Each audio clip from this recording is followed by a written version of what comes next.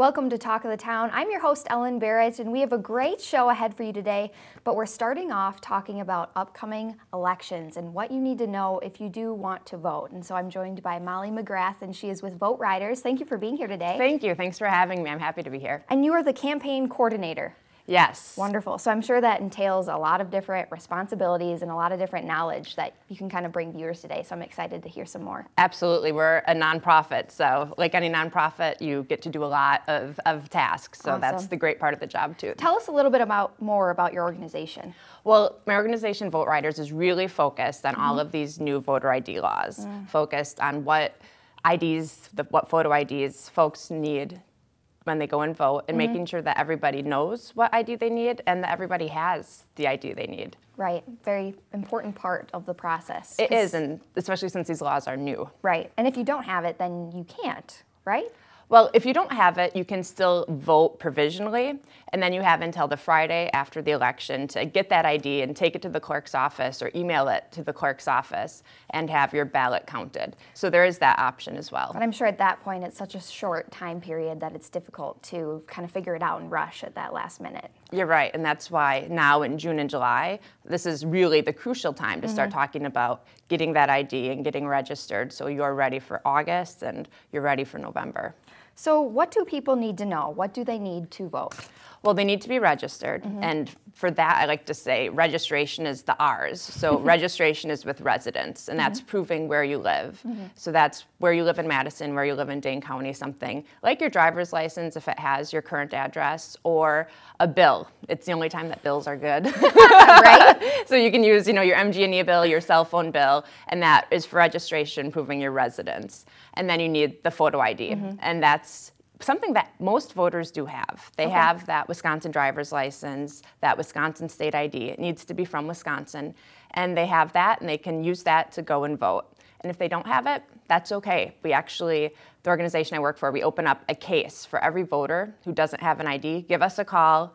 We'll help you out. We'll figure out what, what you need if you need a state ID, a driver's license, what you have, if you need a social security card, birth certificate. We'll take care of all of that. So, a lot of different forms you can use. Well, you can use you can you can use that Wisconsin state ID, that Okay. Wisconsin driver's license. You can also use a passport, uh, tribal ID, Veterans Affairs card. Stu- student IDs are compliant in certain circumstances as well. So Oh, Good. Some different options there then too. yes, absolutely. So what should people do if they don't have one of those forms? Well, if they don't have a form, I would say get turn off the TV and call me right now. do it right now. Um, and then then there's a hotline, leave a message, 608 729 7720, and give me a call, and we'll figure out what, what you need and how to get there. So you don't need to you know, look things up. If you don't want to, we can, we can do all those things. It's really a full service voter ID shop. That's so nice. And it sounds like too you guys even help figure out transportation to the DMV even if that's an issue. Exactly. You know, it's really interesting, and what's mm-hmm. happening here in Dane County is really unique and Yeah. one of the only things I've seen any place in the country. But there's actually free union cab rides to any voter to and from the DMV to get that ID. And this is sponsored by the county clerk, the Dane County clerk, Scott McDonell, and Union Cab gave us a generous discount. So call that number, and if, if you're out someplace in Dane County, rural, someplace in the city, and not sure where the DMV is or how to get there, give me a call. We'll make sure you have everything you need. We'll make sure you get in that cab, and we'll make sure that you have one successful trip to the DMV, and that you know you leave with that receipt and get that ID mailed to you. That is so awesome and so helpful for um, a lot of viewers, you know, who maybe that is the barrier and then it's not worth trying to figure it out at that point. Absolutely. So that's why in, in Dane County, there's really no excuse to, to not go and vote. Right, right, exactly. And so, what if somebody is watching and they have their ID and they're ready and excited to vote, but they want to, you know, join in on the the mission and help other people? Absolutely. You know, I am in the field every day talking to voters at churches, at mm-hmm. food pantries, at schools, and a lot of voters still don't know about this law. And it's new. This is mm. the first year statewide it's been implemented. So we need everybody talking about this because it can also be intimidating. Mm-hmm. But the more we're all talking about it and familiar with it, the easier it is for everybody. So have have those folks if you want to get involved, give me a call. We can talk about doing presentations at your church, doing some tabling, doing some outreach. There's an incredible group of volunteers in Madison, the Dane County Voter ID Coalition. and they're organizing and we're doing things all over the county every day. So there's lots of opportunities to get involved. Awesome. Wonderful. Thank you for being here today, Thank Molly. I appreciate it. This Thank is you. Molly with VoteRiders. Talk of the Town will be back right after this. Welcome back to Talk of the Town. If you love music, you'll want to stay tuned for this segment because I'm joined now by Guy Hankel from the Madison Public Library, and he's going to talk to us about the Yahara Music Library. Guy, welcome. Thanks for having me. Good to have you with us today. So, talk to us a little bit about what is the Yahara Music Library? Um, it's a project we started through Madison Public Library about two years ago. It's an online collection of albums made by local area musicians that South Central Library card holders can stream or download for free.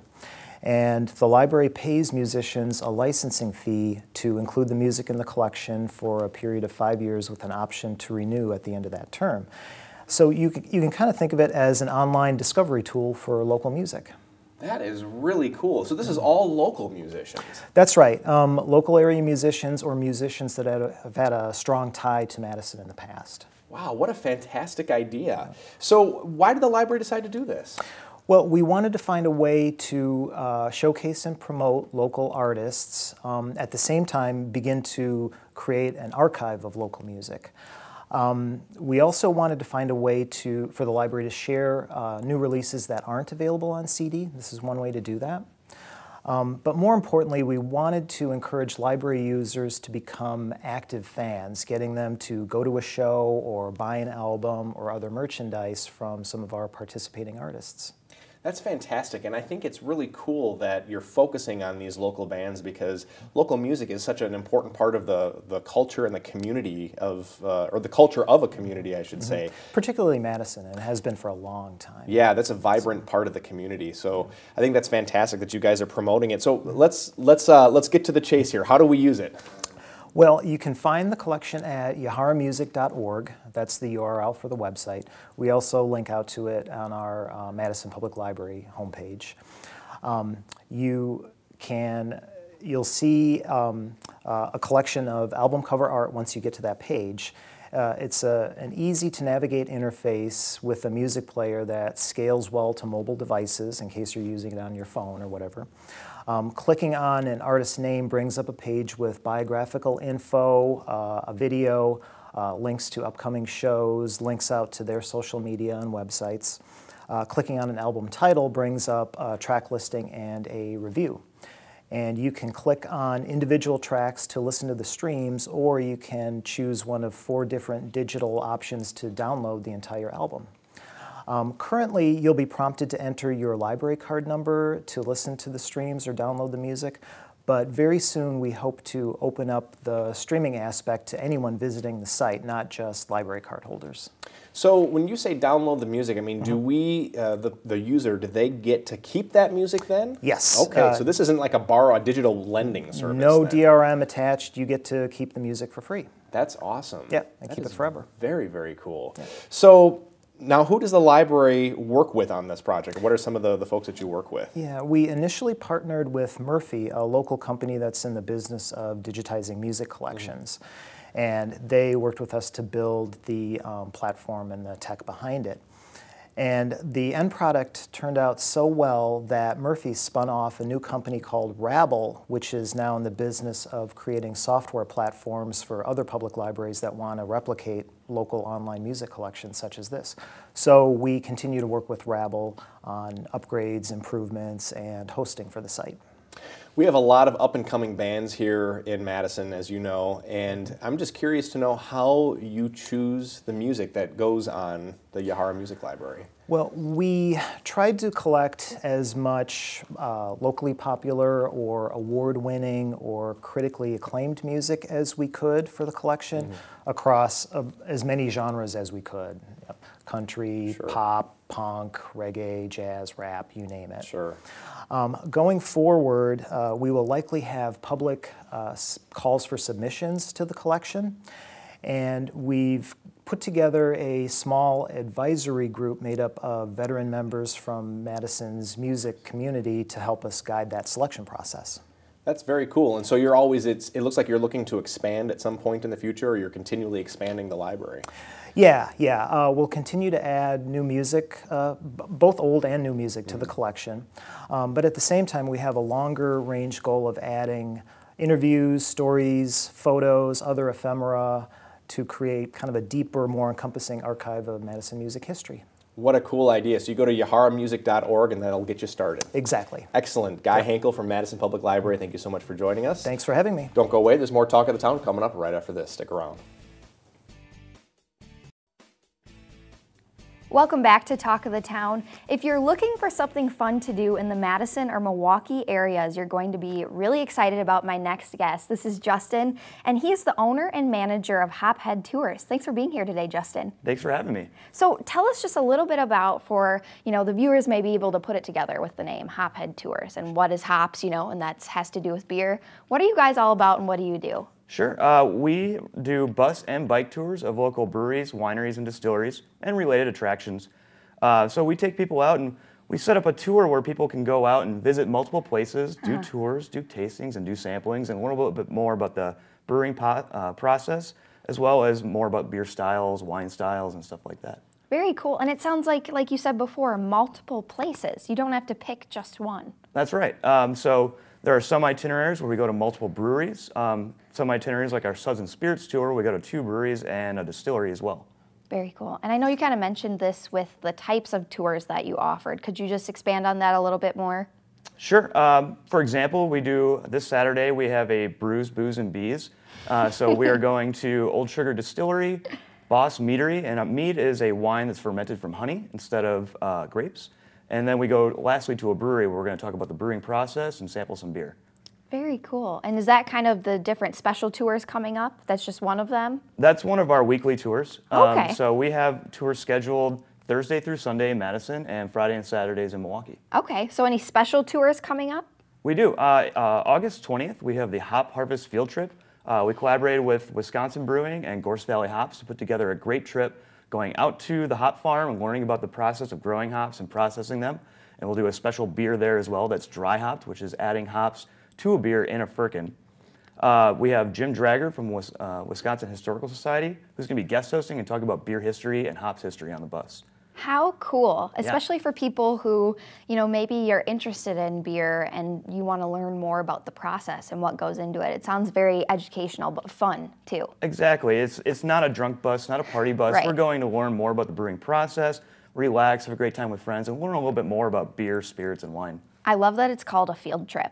I think that is so funny because it is educational, but you're also having fun too. And what a fun way to have fun with different adults. You know? Very cool. And do you guys offer private tours? We do. Uh, so we offer private tours. Um, basically, if you uh, give us a call or email us, we'll put together a custom package for your group. Uh, we work with a lot of uh, corporate events and birthday parties, bachelorette parties. Get a lot of different groups that are looking to just uh, get everybody together and have a good time and not have to worry about driving. Awesome. So much fun. Yeah. And I know you guys have been in the Madison area since 2010, Yeah, correct? that's right. it sounds like now you're also expanding into the Milwaukee area. Yeah, we just expanded in March. We bought another bus, got it all refurbished, painted, it looks great. Uh, and beginning of June, we started offering tours in the Milwaukee area. Uh, we start and end at Lakefront Brewery. And on Fridays, we do a beer history tour. And on Saturdays, we do a Suds and Spirits tour, but with Milwaukee breweries and distilleries. Awesome. So it sounds like a lot of different options too for people who may be interested in different things, or maybe you want to get a little bit of everything. Yeah, A little taste of everything, I yeah, should say. definitely. You know, like I said, we, we go to some itineraries include just breweries, but we also have wineries, distilleries, and uh, the meadery as well. Awesome. And then just again, a little bit of a summary for our viewers who are maybe just tuning in. When do you offer your tours and how can people sign up? Oh, sure. Uh, our tours in Madison run Thursday through Sundays, and in Milwaukee right now is Friday and Saturday. And you can visit our website, www.hopheadtours.com, and you can sign up right on our website. Perfect. And just out of curiosity, just because I'm curious, how did you get into this? How did you have the idea to kind of combine? Because what I think is so unique about what you guys do is that it's multiple places. And that's something I've always thought about that would be fun. You know, you end up just going on one tour to one place and Right. making it kind of a destination thing and stopping different places. Well, sure. And, and me and my business partner, we had worked at multiple breweries before. Sure. I'd worked in tourism, being a rafting oh, guide cool. and working for camps, and kind of combine those two things: love of craft beer and love of tourism, and showing people a good time. Mm-hmm. And also realizing that some people want to go visit multiple um, establishments, but they don't want to have to drive between places. So Mm-hmm. Right. that's where we come in. We can drive, talk about the beer history on the bus, and then get to a, um, a brewery, winery, distillery, go on their tour, and do their sampling. Awesome. Such a cool idea and such, something so fun to do if you're looking for something different to do on your weekends here in Madison or Milwaukee now. Absolutely. Thank you so much for being here today, Justin. I Thank you for having it. me. Talk of the Town will be back right after this. Welcome back to Talk of the Town. I'm joined now by Ismail, and he's the owner of Wisconsin Granite. Thanks for being here today. My pleasure. And also joined by Behar, and he's the manager of Wisconsin Granite. Thanks for being here today, gentlemen. Not a problem. Good to be So let's just start off with people who may not be familiar with your business. Where are you guys located, and what do you do? Uh, we are located in McFarland. Um, our address is going to appear on the screen here shortly. But So look below. so we're located in McFarland, and that's where we do all the manufacturing Awesome. And And, have a full- manufacturing of what, if people couldn't pick up from the title? um, of granite countertops. Very cool. So, a bunch of different varieties. I guess maybe for people who don't know a lot about granite, is there just like one type? Are there multiple types? Um, I mean, we carry all different sorts. Uh, uh, we have over 120 different colors in stock. We also Over carry 120. Yep. Wow. Okay. So it's a lot. Very cool. And 120 different styles, colors. Exactly, patterns, you name it. And then we also do carry a little bit of quartz too, which is engineered products. Very cool. Beautiful stuff. I know I've, I've stopped into your store and it's just gorgeous, gorgeous things if you're thinking of remodeling your kitchen or your home. Or I know, Ismail, even your office is beautiful. Beautiful for an office space. A way to change that up too. Right. That that was a surprise to me. Yeah. I was out of country. I went to Brazil to um, bring some uh, colors from Brazil in here. So when I came back, I see the table that they have done for me as a surprise. Was it a good surprise? It was a great surprise. A Good surprise. It's beautiful. You'll have to stop by and check it out if you do stop by their store. And so, what are some of the different benefits for choosing Wisconsin Granite versus other companies? I mean, I would say the biggest benefit is that um, within the local area, we're pro- probably the company that imports the most amount of products Sure. um, from different countries, uh, countries like Brazil, Italy, India. Um, he sacrifices a lot of times to go to, to go to these places, a lot of family Uh-huh. time, and just to bring people these different colors that they're not used to seeing anywhere else. Mm-hmm. So, you know, through his sacrifice, that's really what the benefit comes to uh, the area Mm-hmm. is that nobody has these different colors. And now, going off of that, I just know because I've met you a couple times now that when they say that they're going, you know, to bring back granite, they really mean it. It is really you. You are physically going on a trip to bring back granite that you hand picked and hand select. Right, I do. It's um, out of a couple of thousand colors that I, I pick. It's kind of fun.